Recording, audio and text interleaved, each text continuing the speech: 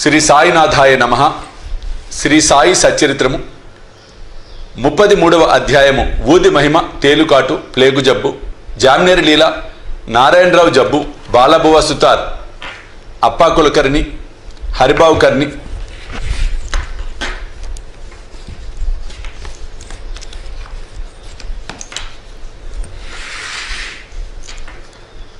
గత అధ్యాయంలో గురు మహిమను వర్ణించితిమి.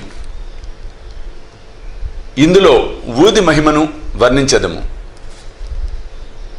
మానవుడి మా మనం ఇప్పుడు గొప్ప యోగేశ్వరులకు నమస్కరించదము. వారి కరుణ కటాక్షములు కొండంత పాపములను కూడా నశింపచేయను.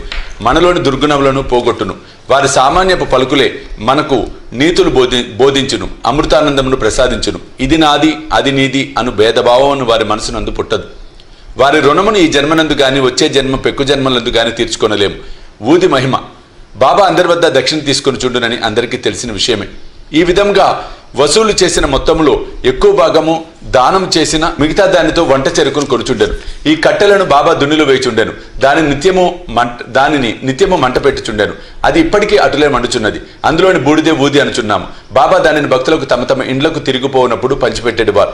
ఊది వలన బాబా ఏమి బోధించను ఉద్దేశించను ప్రపంచంలో కనిపించే వస్తువులనియు బూడిద వలనే అశాశ్వతములు. ప పంచభూతములనే పంచభూతములచే చేయబడిన మన శరీరములన్నీ సౌఖ్యములు సౌఖ్యములను అనుభవించిన పిమ్మట పతనమైపోయి బూడిదెగను.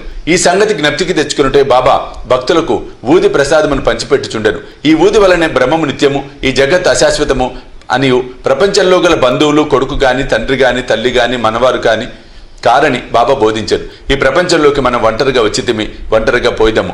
ఊది అనేక విధముల శారీరక మానసిక రోగములు బాగు చేయుచుండను భక్తుల చెవులలో బాబా ఊది ద్వారా దక్షిణ ద్వారా నిత్యానిత్యము గల తారతమ్యము అనిత్యమైన దాని అభిమాన రాహిత్యము గంట మ్రోతవలే వినిపించుచుండెను. మొదటిది ఊది అంటే వివేకము. రెండవది దక్షిణ అంటే వైరాగ్యమును బోధించుచుండెను. ఈ రెండును కలిగి ఉన్న గాని సంసారమనే సాగరమును దాటలేము. అందుచే బాబా అడిగి దక్షిణ తీసుకొని చుండెను సిరిడి నుంచి ఇంటికి పోనప్పుడు భక్తులకు ఊదియ ప్రసాదం గానిచ్చి కొంతను దుటిపై వ్రాసి వరద హస్తమును వారి శిరసుపై ఉంచుచుండెను. బాబా సంతోషంతో ఉన్నప్పుడు పాడుచుండేడు వారు. పాటలలో ఊది గురించి ఒకటి పాడుచుండిరి. దాని పల్లవి కళ్యాణ రామ రామమ్మ కళ్యాణ రామ రావం రారమ్మ గోనెలతో ఊదిని తేమ్మ.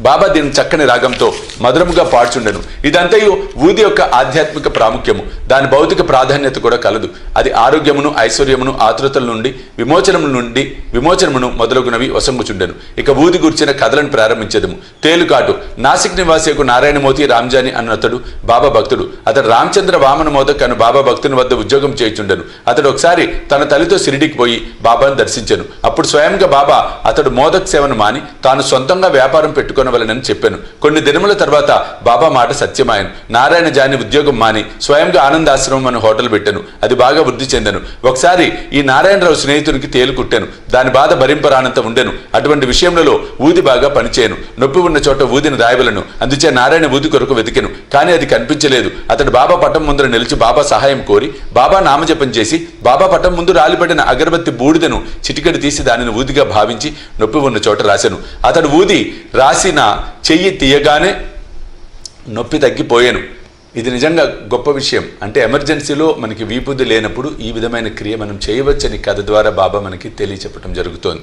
ఇద్దరు ఆశ్చర్య ఆనందములలో మునిగిరి. ప్లేగు జబ్బు. ఒకనొకప్పుడు బాంద్రాలో ఉండే ఒక బాబా భక్తునికి వేరొక గ్రామంలో ఉన్న తన కుమార్తె ప్లేగు జ్వరంతో బాధపడుచుండనని తెలిసెను. అతడు తన వద్ద ఊది లేదని కనుక ఊదిని పంపమని నానాసాహెబ్ చంద్రకర్ గారికి కబురు పంపాను. ఈ వార్త నానాసాహెబ్కు టానా నా టానా రైల్వే స్టేషన్కు వద్ద తెలిసాను. అప్పుడు అతడు భార్యతో కూడా కళ్యాణ్ పోవచ్చుండెను. వారి వద్ద అప్పుడు ఊది లేకుండను. కావున నానాసాహెబ్ రోడ్డు పైన మట్టిని కొంచెం తీసి సాయనామ జపం చేసి బాబా అనుగ్రహం అభ్యర్థించి తన భార్య నుదుటిపై రాశాను. కబురు తెచ్చిన వ్యక్తి దంతేవి చూశాను. ఆ భక్తుడు ఇంటికి పోసరికి మూడు రోజుల నుంచి బాధపడుచున్న వాని కూతురు జబ్బు వాని కూతురు జబ్బు నానాసాహెబ్ తన భార్య నుదుటిపై మట్టిని పూసినప్పటి నుంచి తగ్గినని విని మికిలి సంతసించను. జామ్నేర్ లీల పంతొమ్మిది వందల నాలుగు ఐదు సంవత్సరంలో నానాసాహెబ్ చాందోర్కర్ జామ్నేరులో మామలతదారుగా ఉండెను. ఇది కాందేశ్ జిల్లాలో సిరిడికి వంద మైళ్ళ దూరంలో ఉన్నది. ఆయన కుమార్తె మైనతాయి గర్భిణి ప్రసవించడానికి సిద్ధంగా ఉండెను. ఆమె స్థితి బాగా లేకుండెను. ఆమె రెండు మూడు దినముల నుంచి ప్రసవ వేదన పడుచుండెను. నానాసాహెబ్ ఔషధములన్నీ వాడెను కానీ ప్రయోజనం లేకుండెను. అప్పుడు బాబాను జ్ఞప్తికి తెచ్చుకొని వారి సహాయం వేడెను. షిరిడిలో రామ్గిరి బువా అని సన్యాసి ఉండెను. బాబా అతన్ని బాబుగిరి బువా అని వారు అతని స్వగ్రామము కాందేశులో ఉండెను. అతడు అతనికి పోవు నిశ్చయించుకొనెను. బాబా అతన్ని పిలిచి మార్గమధ్యమున జామ్నేర్లో కొంత విశ్రాంతి తీసుకొని నానాసాహెబ్కు ఊదిని హారతి పాటను ఇమ్మనెను. తన వద్ద రెండే రూపాయలు ఉన్నవనియు. అవి జలగాం వరకు రైలు టికెట్కు సరిపోవుననియు. కాబట్టి జలగాం నుండి జామ్నేర్ పోవుటకు ధనము లేదని రామగిరిబువా చెప్పాను. అన్నీ సరిగా అమరును గాక.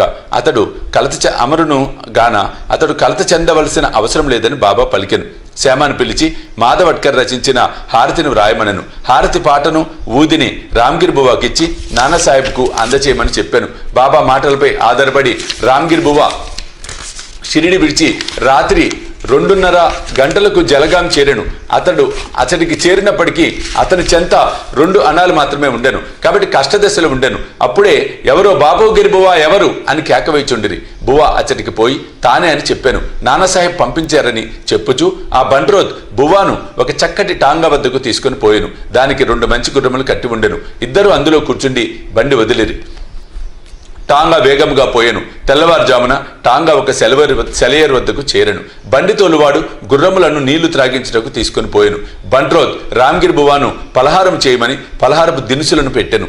గడ్డము మీసములున్న ఆ బంట్రోద్ బట్టలు చూసి రామ్గిర్ బువా అతడు మహమ్మదీయుడని సంశయించి పలహారం తినుకుండెను. కానీ ఆ బంట్రోద్ తాను హిందువుడని గర్వాల్ దేశపు క్షత్రియుడని నానాసాహెబ్ ఆ ఫలహారమును తిన్ పంపిన కాన తినుటకెట్టి సంశయము వలదు అనెను. అప్పుడిద్దరు కలిసి పలహారం చేసిరి. ఉషాకాలమున జామ్నేర్ చేరిరి. ఒంటికి పోసుకున్నటకే రామ్గిరి బువ టాంగా దిగి రెండు మూడు నిమిషంలో వచ్చాను. తిరిగి వచ్చేసరికి టాంగా గాని తోలువాడు గాని బండ్రోత్ గాని లేకుండిరి. బాపుగిరి బువ నోటి వెంట మాట రాలేదు. దగ్గరున్న కచేరీకి పోయి అడుగగా నానాసాహెబ్ ఇంటి వద్దనే ఉన్నట్లు తెలిసాను. అతడు నానాసాహెబ్ గారి ఇంటికి తాను సిరిడి సాయిబాబా వద్ద నుంచి వచ్చినట్లు చెప్పాను. బాబా ఇచ్చిన ఊది హారతి పాట నాన్నకు అందజేశాను. మాయనతాయి చాలా దుస్థితిలో ఉండెను. అందరూ ఆమె గురించి ఆందోళన పడుచుండిరి. బాబా నానాసాహెబ్ తన భార్యను పిలిచి ఊదిని నీళ్ళలో కలిపి కుమార్తెకిచ్చి హారతి పాడుమన్రి. బాబా మంచి సహాయం సమయంలో సహాయమును పంపెను అనుకొనిరి. కొద్ది నిమిషంలో ప్రసవం సుఖముగా జరిగినని వార్త వచ్చాను.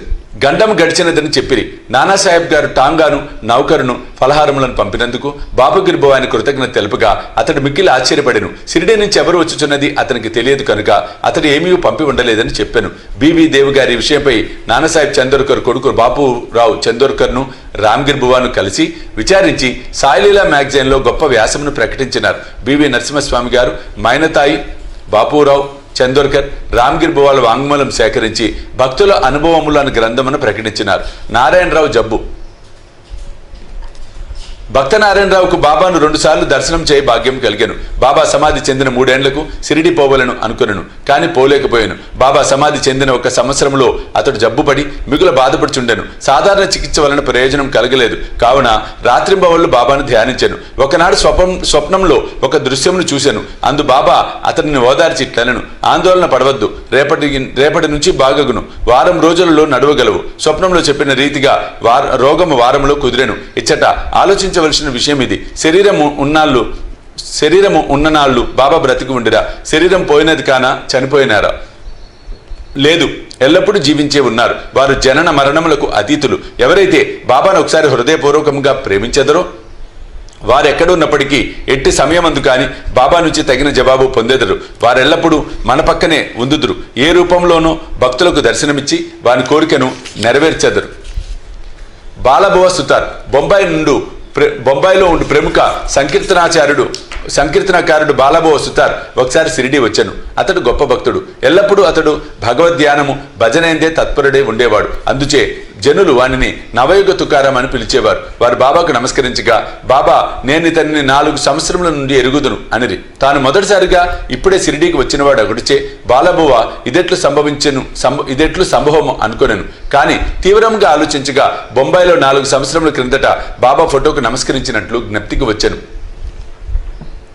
అతడు బాబా మాటల ప్రాముఖ్యమును గ్రహించను. తనలో తాను ఇట్లు అనుకొనెను. యోగులంతటి సర్వజ్ఞులు సర్వాంతర్యాములు తన భక్తుల ఎందు వారికి ఎంత ప్రేమ? నేను వారి ఫోటోను చూచుట వారిని స్వయంగా చూచిన దానితో సమానమని భావ సమానమని నాకు బోధించితిరి. అప్పాసాహెబ్ కుల్కర్ని పంతొమ్మిది వందల పదిహేడు సంవత్సరమున అప్పాసాహెబ్ కుల్కర్ని వంతు వచ్చాను. అతడు టానాకు బదిలీ అయ్యను బాలాసాహెబ్ బాటే అతనికి బాబా ఫోటో ఇచ్చి ఉండెను. అతడు దాన్ని జాగ్రత్తగా పూజించుచుండెను. పువ్వులు చందనము నైవేద్యము బాబాకు నిత్యం అర్పించుచు బాబాను చూడవలనని మిగులు కాంక్షించుచుండెను. ఈ సందర్భమున బాబా పటమును మనపూర్వకంగా చూచినచో బాబాను ప్రత్యక్షంగా చూచిన దానితో సమానమనే చెప్పవచ్చును. కులకర్ణి టానాలో ఉండగా భివండి పర్యటనకు పోవలసి వచ్చాను. ఒక వారం రోజుల లోపల తిరిగి వచ్చుటకు అవకాశం లేకుండాను. అతడు లేనప్పుడు మూడో రోజు ఈ దిగువ ఆశ్చర్యకరమైన సంగతి జరిగాను.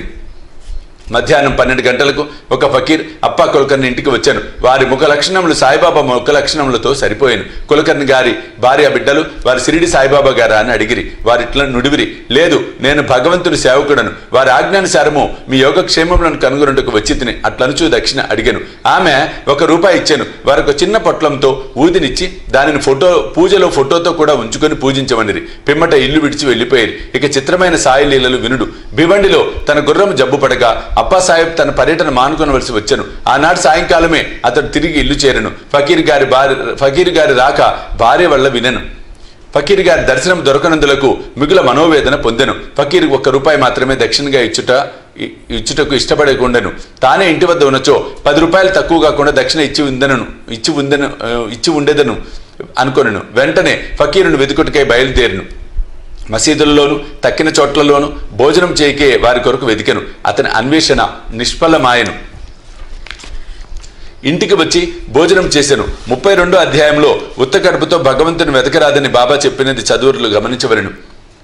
అప్పా సాహెబ్ ఇచ్చట ఒక నీతిని నేర్చుకున్ను. భోజనమైన తర్వాత చిత్రే అయిన స్నేహితునితో వాహ్యాలకై బయలుదేరును. కొంత దూరం పోగా ఎవరో ఒకరు వారి వైపు త్వరగా వచ్చుచున్నట్లుగా కాన్పించాను. వారి ముఖ లక్షణములు బట్టి వారు తన ఇంటికి పన్నెండు గంటలకు వచ్చిన వారే అనుకున్నాను వెంటనే ఫకీర్ చేయి చాచి దక్షిణ అడిగాను. అప్పసాహెబ్ ఒక రూపాయి ఇచ్చాను. వారు తిరిగి అడుగగా ఇంకాను రెండు రూపాయలు ఇచ్చాను. అప్పటికి అతడు సంతృష్టి చెందలేదు. అప్పసాహెబ్ చిత్రే వద్ద నుంచి మూడు రూపాయలు తీసుకొని ఫకీర్కి ఇచ్చాను. వారు ఇంకాను దక్షిణ కావాలని అండ్రి అప్పాసాహెబ్ వారిని ఇంటికి రావలసినదిగా వేడుకొనను. అందరు ఇల్లు చేరిడి అప్పాసాహెబ్ వారికి మూడు రూపాయలు ఇచ్చాను. మొత్తం తొమ్మిది రూపాయలు ముట్టాను. అప్పటికి సంతృష్టి చెందగా ఫకీర్ ఇంకను దక్షిణ ఇమ్మనను. అప్పాసాహెబ్ తన వద్ద పది రూపాయల నోటు కలదనను. ఫకీర్ దాన్ని పుచ్చుకొని తొమ్మిది రూపాయలు తిరిగి ఇచ్చివేసి అక్కడ నుండి వెడలేను. అప్పాసాహెబ్ పది రూపాయలు ఇచ్చేదనను ఇచ్చేదననే ఇచ్చేదనను కనుక ఆ మొత్తం తీసుకొని పవిత్రపరిచిన పిమ్మట తొమ్మిది రూపాయలు ఇచ్చివేశాను. తొమ్మిది సంఖ్య చాలా ముఖ్యమైనది. అది నవవిధ భక్తులను తెలియజేయను. బాబా లక్ష్మీబాయి సిందేకు తొమ్మిది రూపాయలు సమాధి సమయం అందించింది అప్పాసాహెబ్ ఊది పట్లము విప్పి చూశాను. అందులో పువ్వురెక్కలు అక్షింతలు ఉండెను. కొంతకాలం పెంబట బాబాను షిరిడీలో దర్శించినప్పుడు వారి వెంట్రుక ఒకటి చిక్కెను. అతడు ఊది పట్లమును వెంట్రుకను ఒక తాయెత్తులో పెట్టి తన దండపై దండపై కట్టుకొనెను. అప్పాసాహెబ్ ఊది ప్రభావం గ్రహించెను. అతడు మిక్కిలి తెలివైనవాడు అప్పటికి నెలకు నలభై రూపాయలు మాత్రమే జీతం దొరుకుచుండెను. బాబా ఫోటోను ఊదిని పొందిన తర్వాత నలభై రూపాయలకి ఎన్నో రెట్ల ఆదాయం వచ్చాను. మంచి పలుకుబడి అధికారము లభించను. ఈ లౌకికమైన కానుకలేగాక దైవభక్తి కూడా అభివృద్ధి చెందను. కావున బాబా ఊదిని పొందు భాగ్యం కలవారు. స్నానం చేసిన పిమ్మట ఊదిని నుదుట రాసుకొని కొంచెం నీటిలో కలిపి బాబా పవిత్రమైన తీర్థంగా భావించి పుచ్చుకొనవలెను. హరిబాబు కర్ణిక్ ఠానా జిల్లా దహను గ్రామం నుండి హరిబాబు కర్నిక్ అను అతడు పంతొమ్మిది వందల పదిహేడవ సంవత్సరంన గురుపౌర్ణమి నాడు సిరిడీకి వచ్చి బాబాను తగిన లాంఛనములతో పూజించెను. వస్త్రములు దక్షిణ సమర్పించెను. శ్యామ ద్వారా బాబా సెలవు పొంది మసీదు మెట్లు దిగెను. అప్పుడే ఇంకొక రూపాయి బాబాకు దక్షిణ ఇవ్వవలని తోచి మసీదు మరలెక్కుచుండగా బాబా సెలవు పొందిన పిమ్మట తిరిగి వెనుకకు రారాదని విని ఇంటికి బయలుదేరును. మార్గమధ్యమున నాసిక్లో కాలారాముని మందిరం ప్రవేశించి దర్శనం చేసుకొని వెలుపలికి వచ్చుచుండగా నరసింహ మహారాజ్ అని యోగి తన శిష్యులను విడిచి లోపల నుండి బయటకు వచ్చి హరిబాబు ముంజేతిని పట్టుకొని నా రూపాయి నాకిమ్ము అనెను. కర్ణికి మిగులు ఆశ్చర్యపడిను. రూపాయిని సంతోషంగా ఇచ్చి సాయిబాబా ఈ విధంగా తానివ్వ నిశ్చయించుకున్న రూపాయిని నరసింహ మహారాజు ద్వారా గ్రహించెను అనుకొనెను. యోగేశ్వర్లందరూ ఒకటే అనియు ఏకాత్మ భావంతో కార్యములు ఒనరుతునని ఈ కథ తెలియచెప్పుచున్నది. ముప్పది మూడో అధ్యాయం సంపూర్ణము. సద్గురు శ్రీ సాయినాథ్ అర్పణమస్తు. శుభం భవతు.